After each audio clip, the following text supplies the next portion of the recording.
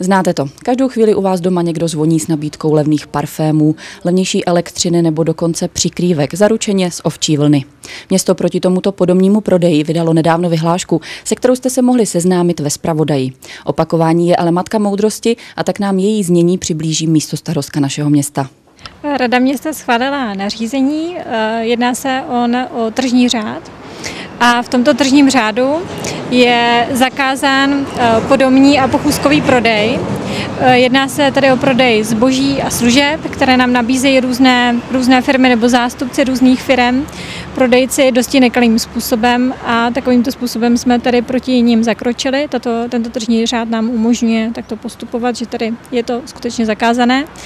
Uh, Obyvatelé, pokud se někdo u dveří nebo potkají někoho na ulicích nebo na ulici nebo se někdo objeví u dveří, eh, tak mají možnost kontaktovat policii České republiky. Doporučujeme kontaktovat linku 158, eh, uvést přesnou adresu a um, vysvětlit problém. My jsme domluvení s obvodním oddělením v Žacléři, policie České republiky v Žacléři. Ti jsou informováni o vydání tržního řádu a zakročí, to znamená, že přijedou a vyřeší ten problém už s konkrétním člověkem, s tím podobným prodejcem nebo s tím pochůzkovým prodejcem.